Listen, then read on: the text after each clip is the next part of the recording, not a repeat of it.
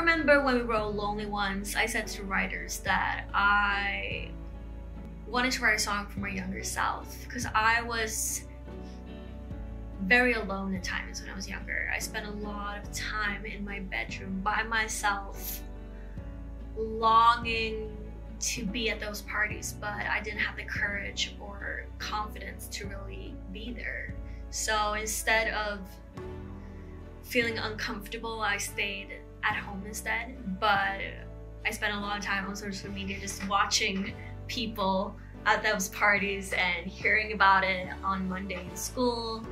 And I just wished I had a song like Lonely Ones that could pick me up and make me feel a little bit better and a little less alone, which I really hope this song can help and do for other people.